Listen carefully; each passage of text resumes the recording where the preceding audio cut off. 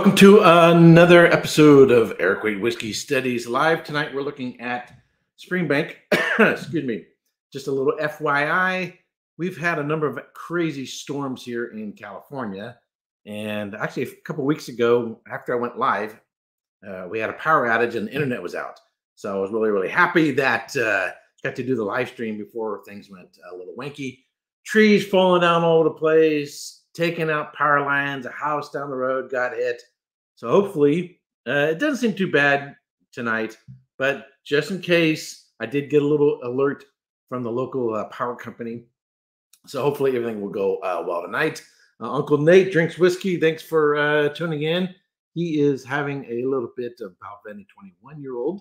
And uh, Dub Master, thanks for tuning in. Hmm, maybe break out the Springbank 11 Madeira cask. Ooh, sounds good and Chris Ope, Chris Ope, Doug Chris Ope, if I'm pronouncing the name correctly, some Powers 12 pot still, a little Irish tonight. Alrighty, so I'm gonna pour. This is the Longrow uh, peated Campbeltown single malt. Gonna pour a little bit of that. This is something I've been doing lately. One of the most uh, often asked questions has to do with how long does the whiskey last in a bottle not meaning how fast does it get consumed, but does it go bad? If you don't keep popping the cork all the time, it'll, it'll last a long, really, really long time. Number two, issue of cork breakage. I've had a few. It's really, really irritating. What I'm doing now is I don't. I'm not going to go around continually wet the corks and open them up. I don't want to do that. Uh, spirit exposure to the cork can deteriorate the cork, so I don't want to do that. However, I do want to moisten the cork a little bit before I open it. So I'm going to start doing that just before I open the bottle. Just before I open the bottle. So pour a little bit of the Longrow, and I'm going to give some notes on the Longrow in a minute. Pour a little bit of one of my all-time faves, uh, Ardbeg 10-year-old. I've never had a cork go on me on Ardbeg, knock on wood.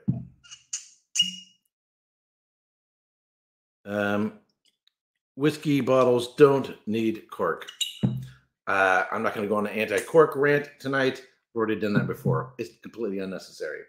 Uh, for some red wines, cork can help the uh, wine age in a bottle, exposing, giving the wine a little bit of micro oxygen.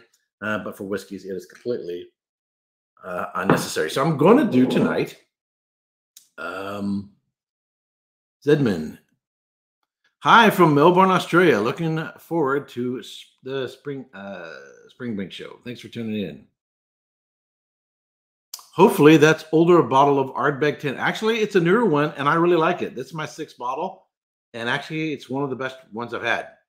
I know there can always be uh, variances in uh, bottles, but uh, this one's been really, really nice. Um, let me pull up my notes real quick. What I want to do tonight. First of all, we talked about I don't want to assume everybody knows everything. You can have newbies, you can have people who know more. So just bear with me if you already know all this stuff. So here is an overview of Scotland. If you see down there, Campbeltown is on a uh, peninsula, the end of the Kintyre Peninsula, west of the Isle of Arran, west of Glasgow. So I will be uh, going to Campbeltown this July um, and basically, I go to going to Glasgow from well, San Francisco to London, London to Glasgow, Glasgow, take drive to uh, Ardrossan, um, ferry, take a ferry around to uh. So there's uh, Campbeltown. By the way, if you're planning a trip to Islay this summer and planning on staying on Islay, I highly recommend making your hotel reservations now. Um, distilleries, a lot of distilleries are not taking reservations now and a lot of hotels are already booked. Yeah, so it's kind of where you can make reservations for your hotels, and a lot of them are already booked. But distilleries, you can't do them just yet. Uh, hopefully, within the next few weeks, I'll be able to start um, booking distillery tours and visits. I'll be spending a week at Campbeltown, uh, at um, Springbank, going through the school, and then we'll head over to uh, Islay to do my second trip uh, through I- Islay. Wow.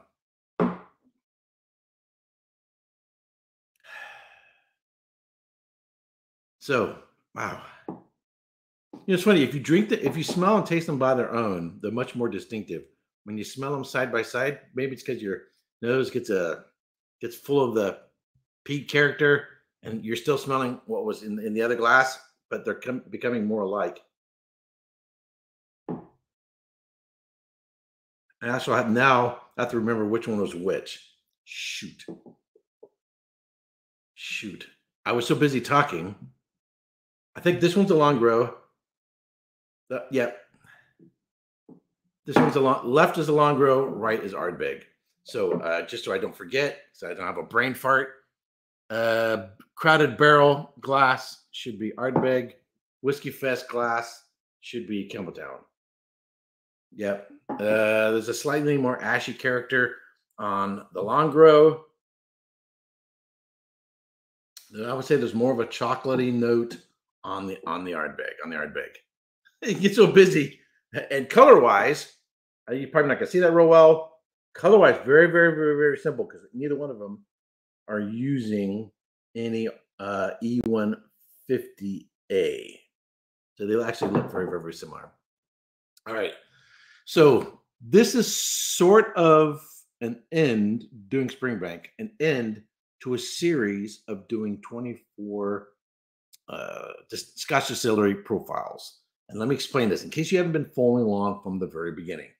So, one of the primary textbooks for studying for uh, the level three, the Master of Scotch, is a book by uh, uh, Charles MacLean, Spirit of Place. What you're seeing off to the right is the table of contents. Along with reading this book from the website, there are 24 distilleries that are going to be focused on during the exam. And it says, while questions about any and all Scotch producers and facts can be asked in the exam, a core group of classical producers has been set by the Council for extensive competence testing. So in this series, I have been focused on these 24 distilleries, but not in this numerical order. This tonight or today in the, for Springbank, this is the last of those 24. However, as you saw there in the notes, it says any and all distilleries are up for exam, but the a core group is going to be 24. So to go back to this, if you look at, if you have now a copy of it, Charlie MacLean's book, beyond the 24 that are the core group, uh, there are, I think it's 53, 53 total. In fact, here is a list of all the distiller of, of all the uh, ones in the yeah. So there's 55. So there's 55. Hi there. Uh, there's here's 55. Here's all the 55. So the ones that are in red are and red, and then I put an X in front of it, meaning I already did it. Those are the ones that I've been covering uh, in this series thus far. They are the 24 core producers. For the rest of this study, I'm going to continue and do the other distilleries. So I will cover all 55 of these distilleries. So I've already covered the ones in red with an X on it. And now I'm going to go on and do the other ones. And I'll be covering them pretty much uh, the same as I'm doing uh, the current one in terms of providing notes on history and all that. Um, and eventually, all those notes eventually will all go together in one document, which I will then upload to the Facebook group. It'll be in the file section. And so, anybody studying, or if you just want a copy of it, you'll be able to download it. it it'll give you history, and so forth of all these uh, distilleries. The problem is um, getting bo- getting bottles of all these distilleries is rather challenging. I was ching ching ching ching ching going shopping again, buying more bottles. Um, yeah, uh, I'm correct. Uh, um, just reading everybody's comments here. Ryan Mercer, how you doing? Thanks for tuning in. Um, says, "Wow, that's intense." Yeah, it's a lot of studying. It's a lot of studying. I'm an intense guy. I actually wish I could have just jumped to the third level and skipped the first two, uh, but that's not how, how they work. So, um, what was that? What was that? Oh, so now I've been buying bottles for all those other distilleries that I want to cover during this series. Uh, I'm work, also working on the calendars, you know, in my, my itinerary. More or less, I should probably be done with that by the end of October. I'm not taking the exam until 2024. So between now and October, I should cover all the distilleries. I will then be doing series on production. Um, I'll be doing series on blended scotches because that's in the book and other related uh, videos and, and, and part of this course of the study. So I'm going to Scotland this year, and I'll be returning to Scotland in 2024 as well. I think going through the Springbank School will be of great benefit so that I'll understand production, not just from a theoretical standpoint from a book, but a hands on and be able to ask a lot of questions and, and so forth uh, while we're there. Uh, there's another uh, gentleman who be there with me, and I've been we were just interacting today. Um, named, named um, Taylor Taylor, who I've had on here as a guest, so he'll be going uh, going along uh, with me. Looking forward to it. So um, we're spending one night in Glasgow, and then head straight to Campbeltown. We get there on a Saturday, July 1st, and then Sunday uh, travel to Campbeltown, and then we'll be there for like a week. And then from there, head over to uh, Islay for like four or five, like four days, and then head to the main side. We'll start hitting some uh, main side distilleries. Alrighty. So, what? Let's get into these two whiskeys. Longrow versus Ardbeg. So I'm going to be smelling these and tasting these, and then I'll give you my personal perspective on these two. So I'm doing the Longrow. It's a non-age statement, bourbon and sherry cask. Bought at 46% alcohol by volume. Of course, prices are relative as according to where you live. These are California prices, uh, 75 to $99 versus Ardbeg. It's a 10-year-old aged in first and second fill bourbon cask. It's also 46% alcohol by volume a little more affordable at 49 to $55 here in California. I know if you're in Canada or somewhere, you're probably going to pay a lot more. Another advantage Ardbeg has, not only being a little more affordable, it's more available. It's easier to find. Now, I can get a Longrow at a local shop here, uh, but Ardbeg is a lot easier to get a hold of. So, Ardbeg in this head to head competition between these two has some advantages in terms of price and availability. Uh, and it has an age statement. If you're an age statement uh, fundamentalist and you think, you know, that should be mandatory on everything.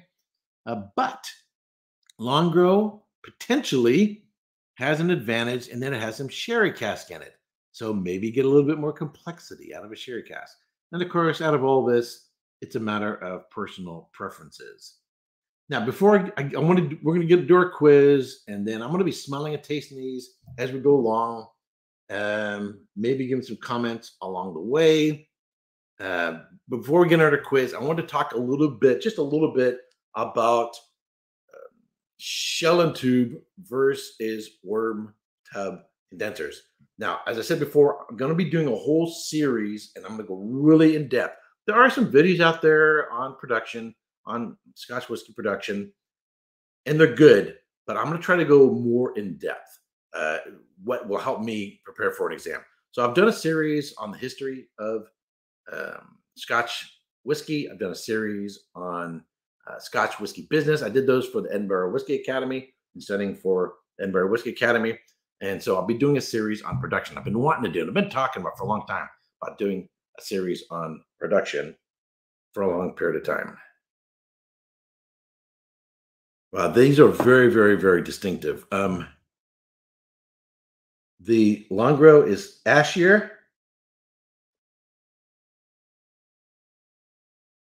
The Ardbeg is it's I'd say more of a chocolate character, but it's also more oceanic. Um, it's brinier. It's also nuttier. If I if you don't put your nose too deep into it, you can get a hint of the sherry cask. And I know you take, don't take too big of a whiff. You get a little more hints of it, much more than I was before.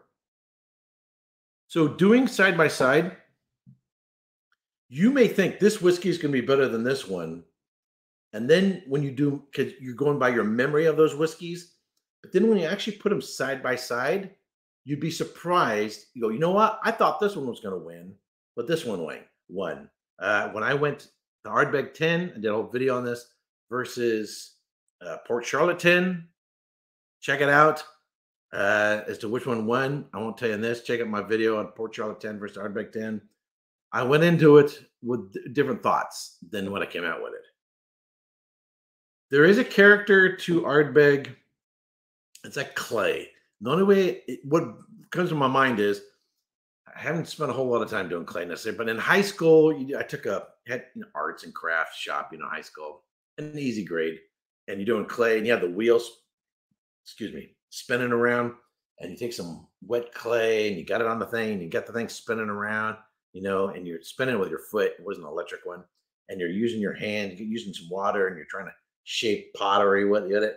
There was a smell that I distinctive smell. I remember sort of coming off that, or any other time you've been around some muddy or whatever. There's a little bit more of that character uh, in Ardbeg. All right. Uh, Mark Lampert says, looking forward to the production series. Can you provide links to the videos uh, you mentioned? I can provide them later on, or you can just search Erik Wait, Erik Wait, and just put Ardbeg 10 versus Port Charlotte. Or if you just put Erik Wait Ardbeg 10, it'll show up. It'll show up. Anytime uh, any any whiskey you're wondering has Erik reviewed that or covered that, just put my name, E R I K W A I T, and put that after it, and you'll it'll it'll pop up. It'll pop up. All right. But I could put uh I could put a, a link to it uh later on. All right. Let's get into Oh, let's, let's talk a little bit. I'm, again, this is, uh, uh, I'm going to try to explain this at a level that an elementary school kid can understand. Uh, just, you know, super, super basic. Now, a lot of whiskey tubers make a big, uh, Springbank uses worm, uh, worm tub, worm tub, or worm tub. And then other whiskey tubers repeat what they heard. Oh, it's worm tub, worm tub, worm tub but do they know? But do they take the time, take 30 seconds to Google it and find out what the heck a worm tub is? First of all, just to let you know, it's actually not worm tub. If I want to get technical, it's worm tub. It's invented by a German gentleman uh, back in the 1700s. We'll get more into this one, do the full video. Uh, worm is the German word for serpent. So it's not worm, like you got worm in the in the dirt, it's worm.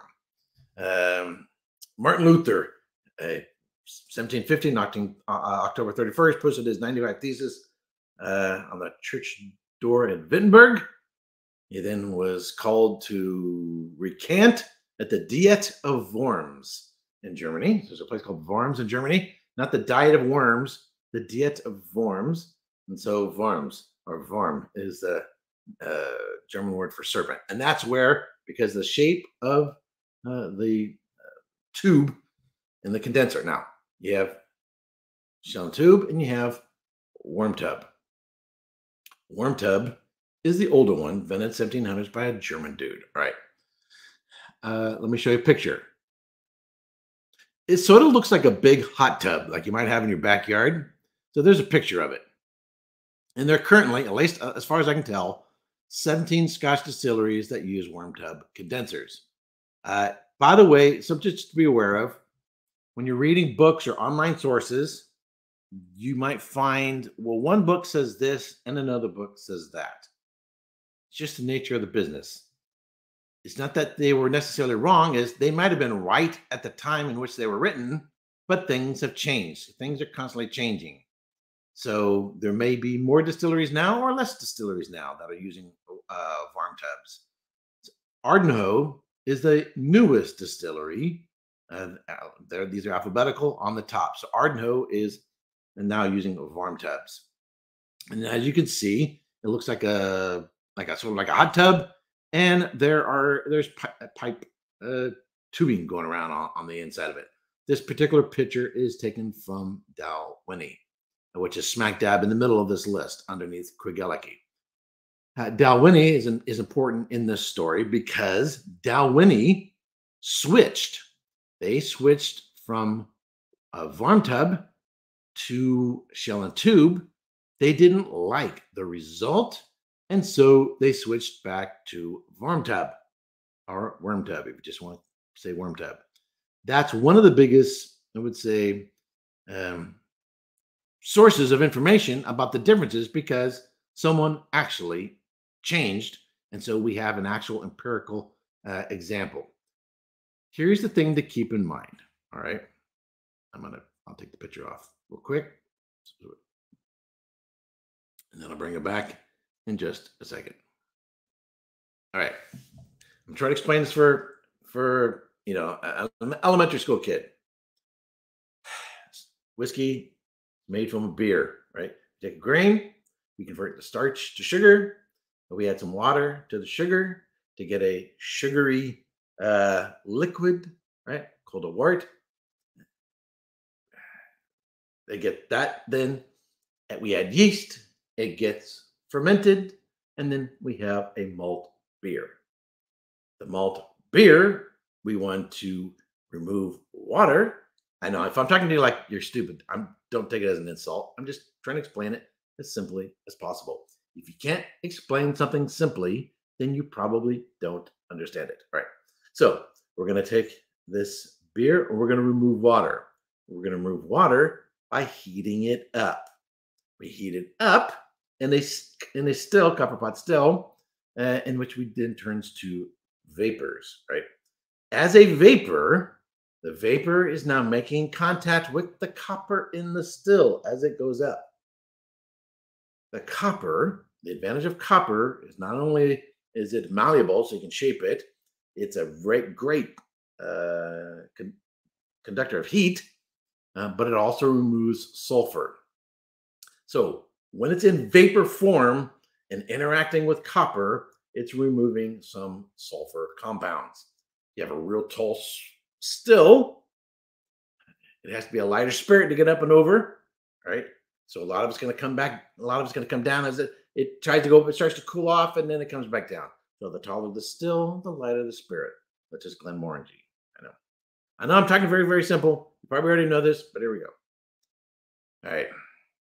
It's vapor in contact with copper, not liquid in contact with copper.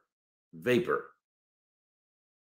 The vapor, when it goes up and over and into the lyne arm, it then goes into a condenser. A condenser now takes that vapor and condenses it back into a liquid. I got a sneeze coming here, by the way. I'm gonna take a sip real quick.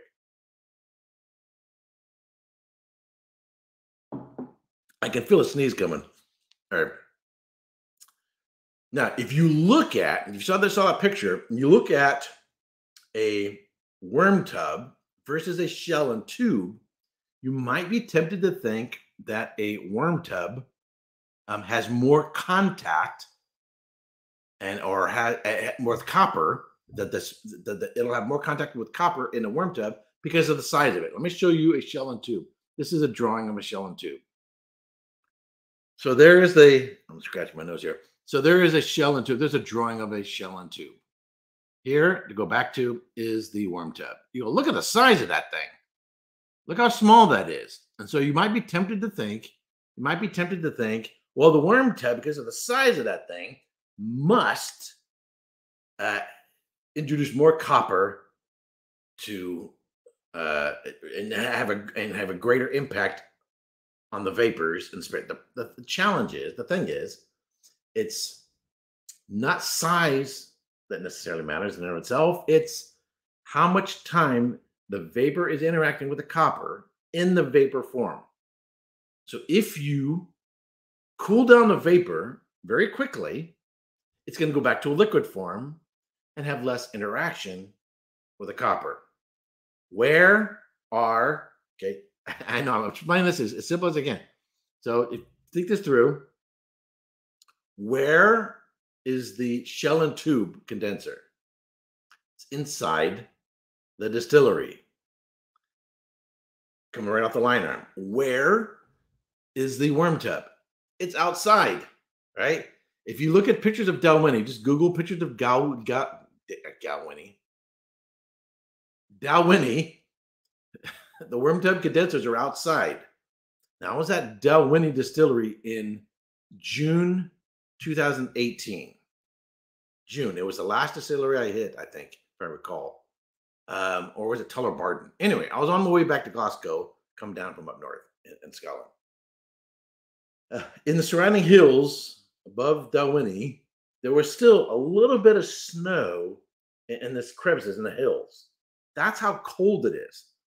So if your condenser is outside, it's going to get the, the vapor is going to cool cool down faster. It gets cooled down faster. It gets condensed back into liquid faster, and consequently has less interaction with the copper. Consequently, a worm tub has less interaction that the, the whiskey ends up having less, or spirit ends up having less interaction with the copper because it's cooled down very quickly. That's not the only reason why. There's other reasons why, and and there's and there's more variances to it. By the way, um, I'm, I'm, giving you the most simplest version. I can, we can talk about all the various different distilleries and all the variations and all the various distil- distilleries. Right, there are some variations what Mortlach does and so forth, but this is the most simplest explanation.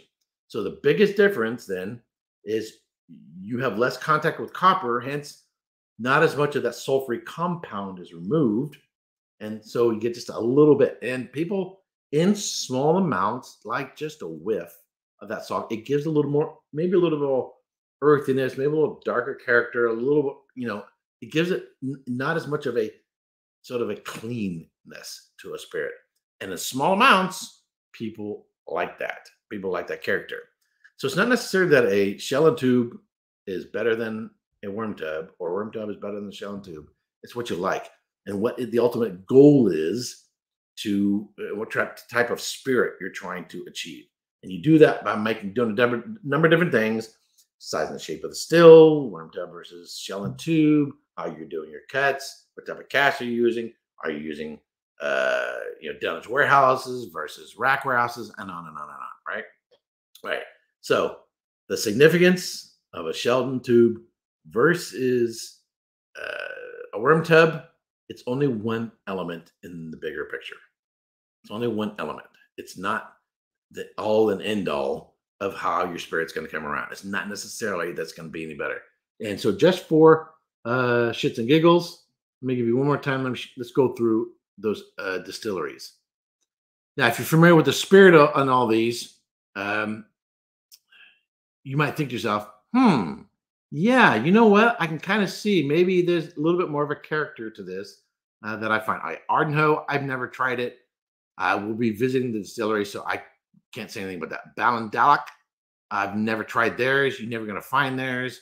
By the way, they have a one day experience working in the distillery. Uh, I'd like to do one of those days. Balmenach, Balmenach, Ben, Benrinnes. I think I got a typo there.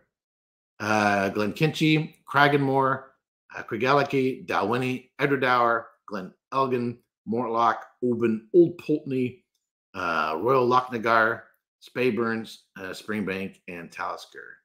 And it looks like I got a typo on that one. That is my bad. All right, that's my bad. Um, take away this picture here.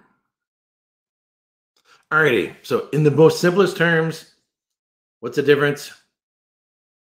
Worm tub it gets cooled down faster. Vapor has less interaction with the copper. Hence, you get a little bit more of a sulfury note. That's it. That's that's that's simple. That that's probably the simplest explanation. The significance between a worm tub and uh, a shell and tube. All right, take another sm- sniff here.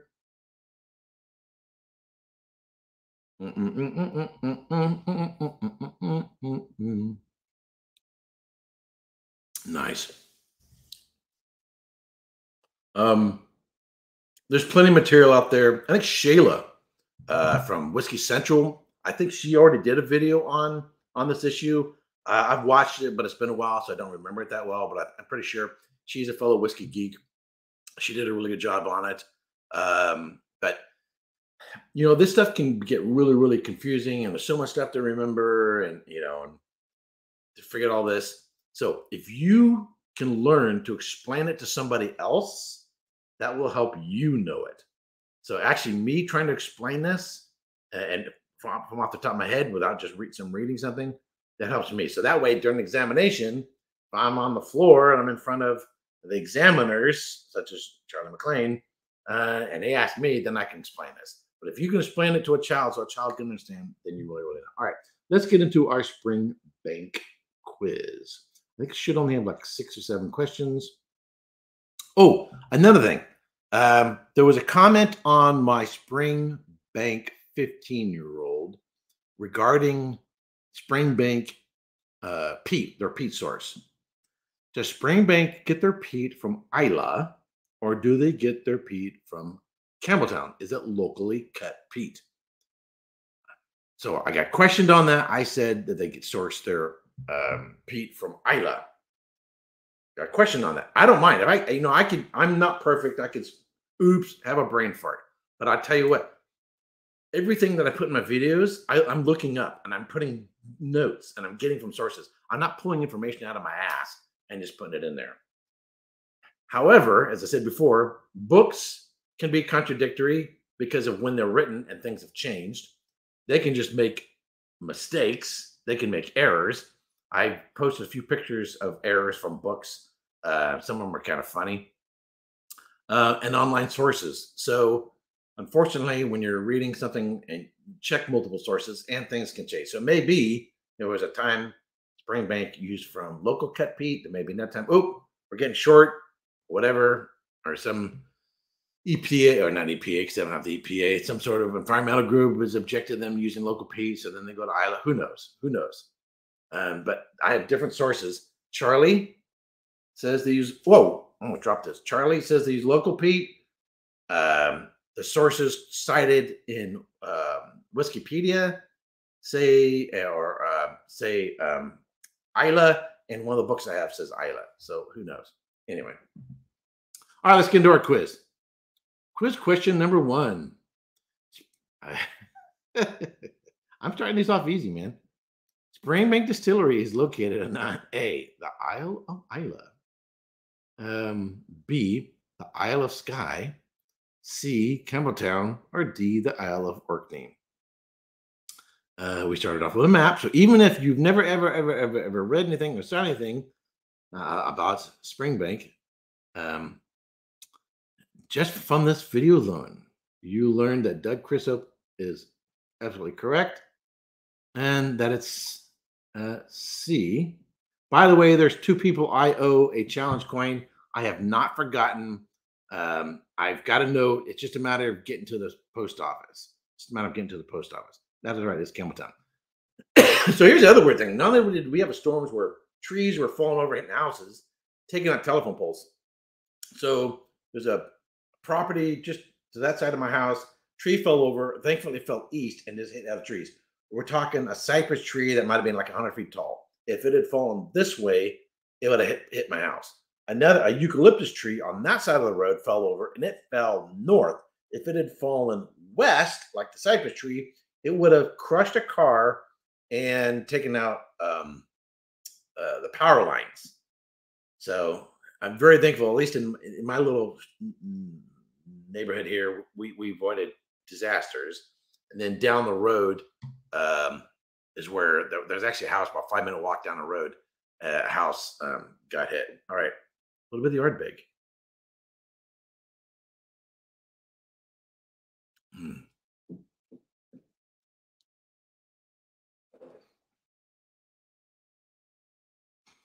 So the Longrow, a little bit more on your apple and pear notes, a little more of an ashy peat.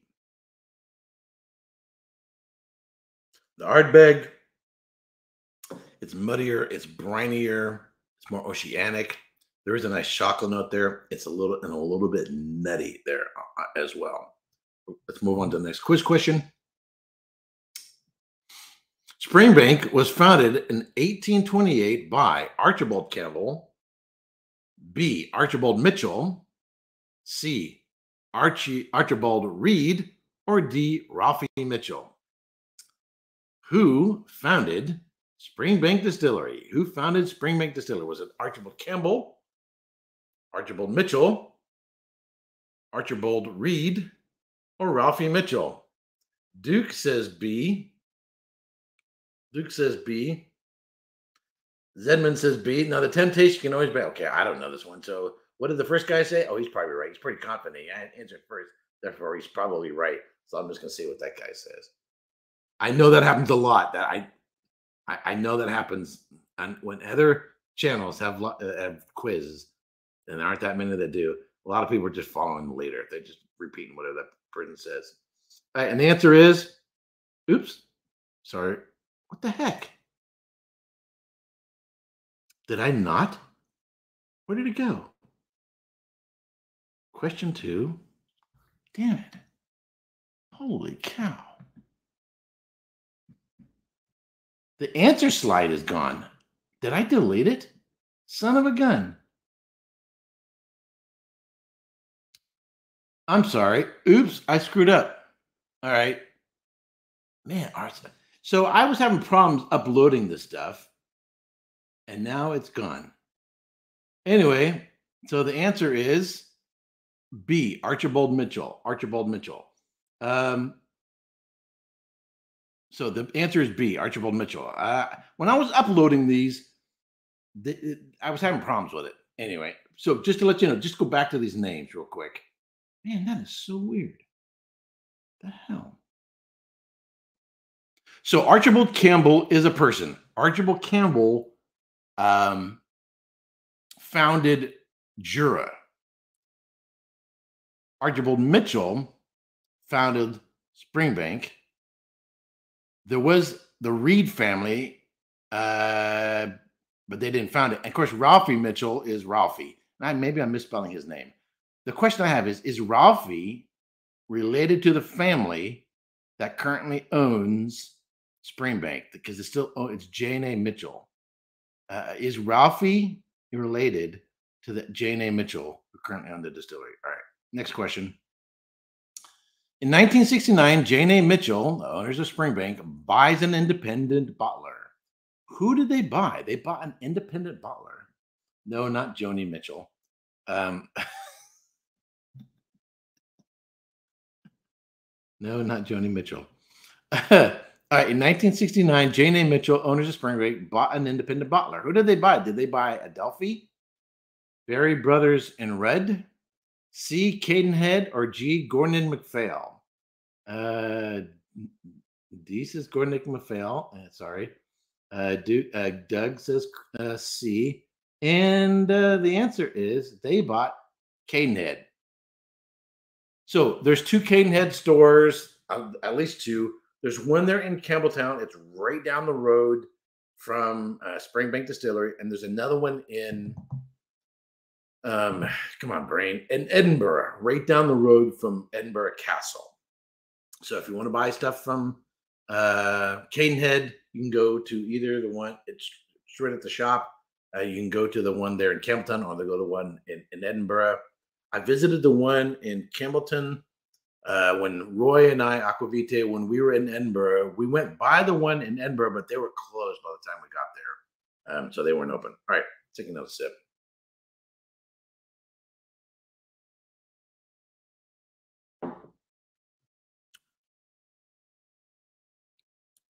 The Longrow, I'm actually put this over here and this over here and make this. The Longrow is a little more honeyed, a little more peach, a little more apple.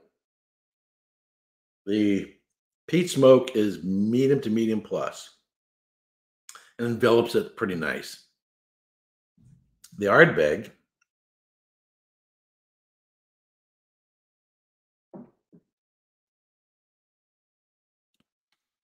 I would say it's a richer, darker, more intense peat It's much more of a smack upside the face of peat. It's got that dark chocolate going on there. It's got a little more of a greener note. Um, lemon lime character. It's more of a lemon lime, whereas this is more of an apple and pear. This is more of a lemon and lime. It's got it's got a much. I'd say the Ardbeg Ten is also saltier, particularly on the finish, saltier, and it's got that ch- chocolatey note there. All right. Next question. I'll tell you what my preference is uh, at the end. Which of these is not a Springbank brand?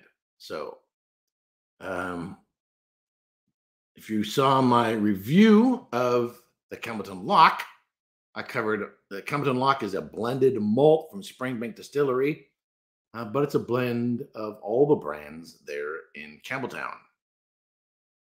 But which of these is not a Springbank brand?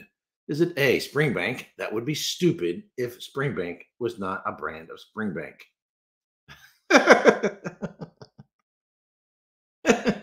Hazelburn. Hazelburns are hard to come by, by the way. And then, so if you can find an expensive, Glen C, Glen Scotia, or D, Longrow. D, and everybody's saying C. And again, I have to tell you, man, it's it's not a difficult quiz. It doesn't have to be. So if someone's new to all this, just let you know the answer is Glen Scotia. But these are just around the corner from each other. So um, Springbank and uh, Glengyle, which makes Kilkerran. I mean, literally right next door to each other, and they currently share the same warehouse. Although a warehouse was was being built when I was there, so maybe uh, Glengyle has their own warehouse by now. I don't know. I'm maybe I'll find out when I get there. And then 0.4 miles, uh, so less than half a mile from uh, Springbank is Glen Scotia. You can walk there. I guess about probably seven minutes. Probably walk there in seven minutes, or drive around the corner, whatever whatever you want to do. So they're really really close by. All right. Um, next question. Which of the following is correct? This this question is going to be a little more challenging, but if you think think it through, if you're familiar with the whiskeys, you're going to know which of the following is correct. Springbank receives six hours of peat smoke and 30 hours of hot air. Hazelburn receives 48 hours of peat smoke.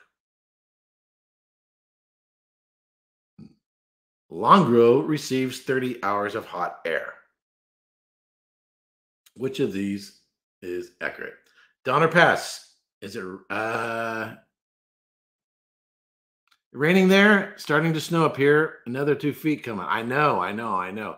In case you don't know, Donner Pass is uh Sierra up in the Sierra foothills. Um, yes, we're getting rain. It's been raining this whole time. In fact, I started this live stream saying that we've got another storm going on here. Anyway, um, enough of the weather report from California. and the answer is A. Springbank receives six hours of peat smoke, 30 hours hot air. And they think about it, if if Hazelburn uh, uh,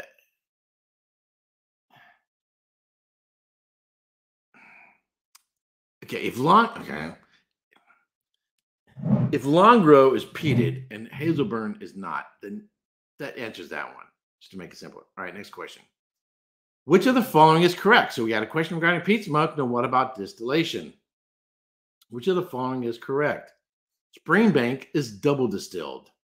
I had to modify the logos, but if you're paying attention to the last slide, it was on there. Springbank is double distilled. Hazelburn is triple distilled. Longrow is two and a half times distilled.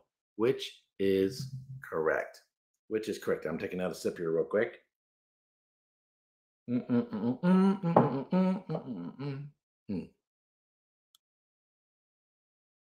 Challenging where I'm at is it's not just a matter of rain, but this crazy ass wind that comes off the ocean, and there's nothing to keep it. There's no hills, there's no nothing. It's just a you just get a full blunt of uh, brunt of the wind. I'm in Buffalo. Already had two separate storms where four feet of foot smell fell in 48 hours. Damn. Yeah, yeah. I don't know if anyway. Let's give you the answers, and we can go on about that. And the answer is Hazelburn. Hazelburn is triple distilled. Is triple distilled. So uh, I actually posted this morning on the Whiskey Tribe, uh, Rex and Brianna, and then of course Daniel's on there. Um, they got hit with uh, with a deep freeze and ice. Check out the video; it's crazy. Uh, so they got trees falling all over the place, and uh, no damage to any of the buildings, I don't think. But trees falling all over the place. It's a big mess, and the, the, you know icicles, you know, all over the place. It's kind of cool looking. Um, but anyway, so check out the video. It's kind of crazy. All righty. I know some people aren't big fans of the Vault and the Tribe. Uh, I'm I'm a fan. I'm I'm friends. Uh, it's not how I would do a channel, but they're doing their own thing. All right. Um, bring the comments back up. So, um, Longrow. Or Ardbeg 10. Hold on. So, Longrow also does, as mentioned in the video,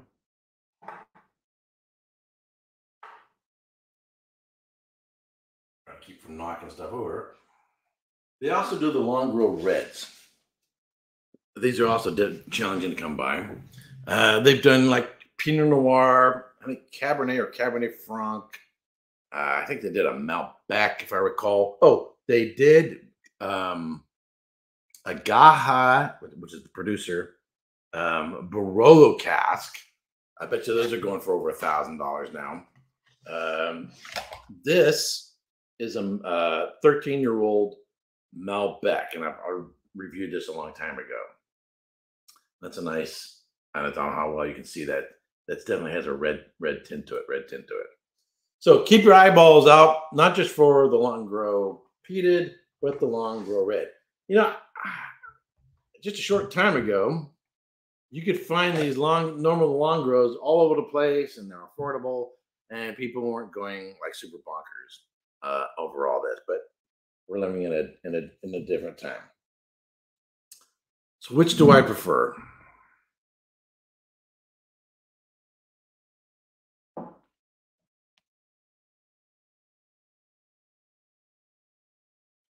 Drink some water.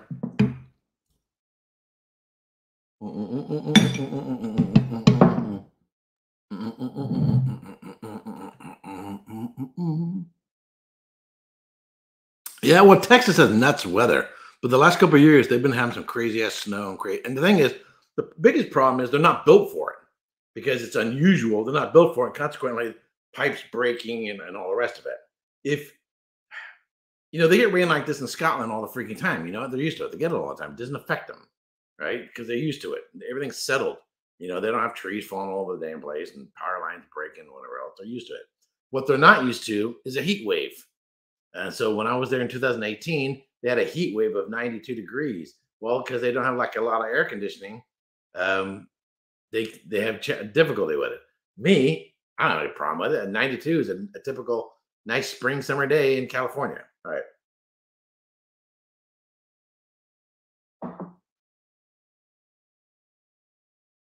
I prefer the Ardbeg 10. Um, how many of you are surprised? I prefer the Ardbeg 10. I think it's richer. I think it's more complex. I think it has something more going on from the front, in the middle, into the finish. I think it's deeper. I like that salty component. I like that dark chocolate component. But if there's someone who doesn't like the maritime, it's not seaweedy. It's it's not iodine quite as much as say like Laphroaig. Um, but I like that richer character. I really, really like the Ardbeg. Uh, I've given this anywhere between, say, 92 to 95 points, depending on it, you know. Um, and and still, it's still holding its own on the price point. That's one of the key factors. Whereas uh, the Longrow, it's nice, it's good, but you know, Talisker, the Talisker 10 maybe uh, or um, Ledaig, the Ledaig 10. I think Ledaig 10 would beat this. you know, and then just look at all the various Islay, other Islay um, peated whiskeys. And so it's nice, you know, you if you're going to study Springbank, you know, and I mean studying, uh, it's it's a it's a ball you should get to know. But if you're just interested in drinking, you're not a reviewer or, or a studier. I'm keep belching like crazy. Sorry, I'm trying to hold it back. Um, then it's not something I would go out of my way for or feel the need to spend an extra 20 $30 for. The Ardbeg 10, I would say hands down, is a better a better whiskey, a better whiskey, a better peated whiskey. Um, but if you're a peat fan and you want to broaden your horizons and understand what Scotch peat, uh, Scotch whiskey peat is all about, then I'm gonna say, yeah, you should try it there's islands. You should try the Western Highlands, like Ledaig and Talisker. You should try um, Campbeltown peat. You should try Highland peat. You should try um, Lowland peat. You should try um, Orkney peat and get to know all the peats. But if you're not that big of a buyer and consumer of whiskeys, look, look, I just I don't need whole, all these peated whiskeys. I just want something that's really, really good. You know, I'm, I'm going to have five to 10 bottles in my little whiskey collection. And I just want one or two peated whiskeys. And I could, I could get the Longrow or I could get the Ardbeg. What should I get? Hands down, absolutely. I get the Ardbeg. Get the Ardbeg. Um, I find a sulfur note in Longrow uh, that I can't ignore. My vote is for Ardbeg 10. See that they the sulfur note as we, we just got finished talking about, that's a matter of personal preference. If you don't like it or if you're sensitive to it, um, then yeah, then yeah, then then I totally agree with you. I am not super sensitive to um, sulfur. I am super sensitive, really sensitive to um, or TCA, also known as cork taint. If, if someone opens a, a, a bottle, whether it's a wine or whiskey, it's got a bad cork, eh, from the other side of the room, I will pick it up. And it's extremely offensive, extremely offensive. I really, really, really, really, really do not like it. it in fact, it pisses me off when it happens in a whiskey because cork is totally unnecessary. So, all right. Um, trying the 22 Springbank 15, very sherried, but funk is still present. See, I see again, it's a matter, it is dark, it is dank. And in, in my video, I likened it to being like a, um my man, my brain just went break. Uh, a particular burgundy. Um and now my brain just went blank on it. Um there's one one well, burgundy Pinot Noir generally tends to be earthier and notier. Uh, but Nuits St. George. Nuits uh, came back. Nuits St. George, out of all the Burgundies, had has much more of that dank, earthy character to it. And maybe because of the native yeasts, Brettanomyces. It may be Brett character, but um, St. George, it's almost like um, a, a like a, a rubber on the end of a pencil. It's almost like that that that kind of character to it um, that funk of a, rubber pen rubber pencil, and that kind of reminds me of a Springbank uh, funk. So anyway, uh, won't those conditions help their whiskey maturation? Uh, if you're talking about the weather in Texas, no. Um, if it gets below 45 degrees Fahrenheit, um, the spirit is now is no longer interacting with the cask. It's basically not really maturing. Aging, yes, because time moves on. The clock keeps ticking. Time doesn't stop, but it's not really maturing because it's not interacting with the cask. So when you're taking samples um, from a barrel to test the barrel, you don't do it in the middle of winter. You do it uh, spring, summertime. So that's when you take samples to test your. You don't do it in the middle of winter. But yeah, it's no. Um, if you want to extend the length of your aging, maybe. But other than that, no, no, no, no, no. All right. Anyway, So, all righty. So we're heading to the top of the hour. Hmm. Hmm. So what am I going to be doing next? Arran. Arran. Uh, I don't know if you probably can't see him up there. So I have one, two, three, four, five bottles of Arran up there. I'm gonna be. We're gonna be doing Arran Distillery this next week. There'll be two. Uh, I'll be doing the Barrel Reserve and the ten year old. The Barrel Reserve and the ten year old. I also have the Sherry cask, the quarter cask, and the Amarone cask.